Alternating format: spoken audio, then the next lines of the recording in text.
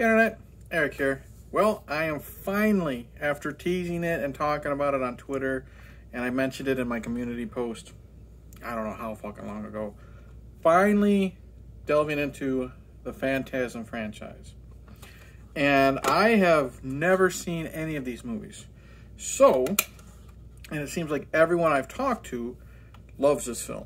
I've had requests to discuss this from a handful of people and it seems like I've not heard one bad thing. But um, I I, I uh, talked to Frenzy uh, a week or so ago, and after laughing my ass off, thinking that he thought I was going to review the Phantom, Billy Zane, I figured I would finally do a "Is it worth the hype?" video.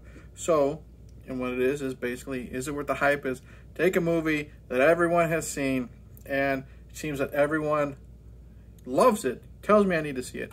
Granted, this is just basically in the horror genre, but I'm going to see if, or tell you, in my opinion, is Phantasm worth the hype? Now, if you're new to my channel, I discuss plot spoilers, specific scenes. Um, in case you haven't seen Phantasm from 1979, like me, you're watching at your own risk.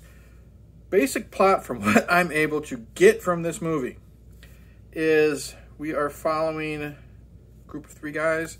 Um, don't don't remember their names um, a kid, his older brother Jody, and then a bald guy with a ponytail who drives an ice cream truck. Anyway, the young kid, I think his name is Mike.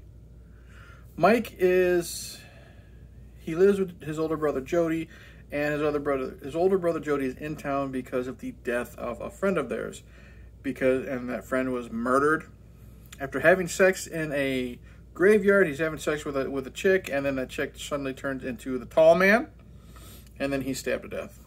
Anyways, Mike is snooping around and he sees the tall man. He is, he's called that because he's just fucking tall. After the funeral and after everyone's left, he literally picks up the casket by himself, shoves it in the back of the hearse. So that gets Mike curious. Eventually, um, Mike is attacked by little dwarfs that basically look like Jawas, and then Mike, Jody, and whoever the other dude is with the ponytail, they go to investigate what's going on at the mortuary. Uh, this movie was fucking weird. Uh, first, all, let's get to the acting though. Um, the acting is fine. I liked the kid who played Mike. Um, like I said, if that's if his name is wrong, fucking sue me. Um, he, I'm, I usually have a thing against young actors. He's not like super young. He's not like Jake Lloyd or, or anybody like that when they first got started. Um, he's 12. I don't. He's fine. He's likable. Um, you believe him when he gets scared. You believe him when he wants to fight. Like gets in arguments with Jody. When Jody says stay home, we you know we're gonna take care of it type of thing. He's very likable. Older brother Jody, he's likable too. And I, also the dude with the ponytail. Like I said, I don't know his name. Um, all three of these guys have great, great chemistry together. I love when they're all on screen together. I love the scene where Jody and the ice cream man are just sitting there playing guitar and singing. Really cool scene that had nothing to do with the movie, but it was just friends hanging out, and it was just a fun scene. All three of those guys, especially when they're together, are great. Um, the only other actors of merit is Angus Scrimm. You can't really see him very well. I don't know if there's a picture of him on the other DVDs. Not really. Okay. He plays a tall man. And he doesn't have a lot of dialogue, but he's fucking terrifying. He literally is just there to walk and chase. And he is really, they do a, Don Coscarelli, who I've only seen Bubba Ho-Tep from him. He's really good at making this tall man scary. He's usually seen walking in slow motion. They have a, always have a creepy score play when he's going through or going through town stuff like that. And then on a dime, he, you see him standing across from Mike or whatever, and then boom, loud noise like a loud screech, and he fucking books like the fastest fucking sprinter ever after Mike, and it's terrifying. This type of fucking man, this size, chasing after this little kid, it's horrifying. So Angus Scrimm for what he's given to do is fine. The rest of the characters, there's there's some neighbor girl and her her grandmother who are like fortune tellers. They're awful. That whole scene, I know it had a purpose of helping Mike not be afraid of putting his hand somewhere. That's, that does sound disgusting now that I said that, but I understand that's the point of it. That whole fucking scene was awful. The girl was awful. The fortune teller lady was awful. It's a cringe-worthy moment. Um, this movie's just fucking weird. And that's the thing. We find out because Mike somehow, they're all in the mortuary. And Mike finds out that, how do I say this? No, before that, they're in this great car chase. You know, shotguns going, this and that. The bad guy's cars crash, and the inside is one of these dwarfs. And like I said, they literally are dressed like fucking Jawas. They're in the little brown coats and everything like that. And they, they're, I don't know if they speak at all, but you know, they, they all they need is like the glowing red, the glowing eyes. They look in the the crashed car and they want to see what one of the one of the dwarves or the Jawas look like, and it's the face of their buddy that was killed. So apparently now their buddy is now turned into some three foot tall creature. Fast forward to them all in the mortuary. Somehow Mike gets into the other dimension where the fucking or planet where the tall man is from. And you find out that these people that are being killed are now being shrunk down to the size of Jawas for slavery. Weird as shit. Um, makes no fucking sense. No explanation. Um, I'll say this though, with a shoestring fucking budget, this is really well done for its budget.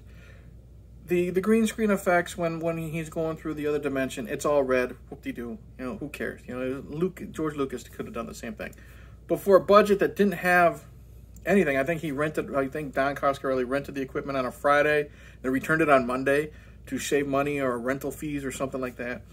The fact that he was able to get that car chase out was fantastic. That car chase, when they're chasing or being chased, when they're chasing, they're, they're being chased by a Jawa, I guess you would say. And Jody is shooting, you know, he's shooting bullets at it, this and that. Crash, boom, great explosion. And for a fucking budget of zero dollars, looks great. Um, but like I said, it's just so fucking weird. Eventually, there's a scene where Mike is chased by the tall man. He gets away and he slams the door shut. Tall man has like his fingers sticking out of the door, and Mike cuts the fingers off, keeps one of the fingers because why the fuck not? Shows it to Jody, and it's still moving. Eventually, it turns into this weird fucking fly creature that flies around, gets stuck in Mike's hair, and they, they catch it. I don't remember if they kill it because I was kind of checking out because I didn't expect this much of weird shit. Um, and then the ending. I was very disappointed. I mean, I know there's sequels. There's five of these fucking movies. I was kind of disappointed in how the tall man was taken out. He was just defeated. I won't say how, and that's it. Then we get the ending, and it's a great jump scare ending before the credits. But let's just say what was explained, how the story was explained, was kind of a fucking cock tease, and I was so mad. I was so mad at how the how everything that happened was explained. If you don't know what I'm talking about, watch the movie yourself, and then you'll you'll you'll see what I'm saying. If you have seen the movie, you know exactly what I'm talking about. What Ice Cream Man tells Mike. We'll leave it at that. I was so pissed, but that jump scare at the end got me interested in seeing where the story is going to go. Um, long story short, this is Is It Worth the Hype? Which means everyone says they fucking love this movie. Is this worth the hype for me? Sorry, but Phantasm was not worth the hype to me. I, overall, I enjoyed the film, but it didn't blow me away. I don't think it's a masterpiece like some people say. I don't think it's fantastic like some people say. I think it's a way to kill 90 minutes. And I'm, I'm sorry, but, and that's a movie that has some good acting, some likable characters, some weird shit. But sometimes the weird shit gets a little too weird for me, and that fucking end explanation still pisses me off. The Fly was weird as shit. I hate the chick and her fucking grandma. Um, let's make them dwarves. I the, the simple explanation was because of I think the pressure and the heat, so they have to be shrunk. That's fucking dumb. But overall, did I like the film? Yeah, it was fine am I gonna like go out and buy like the Blu-ray of this?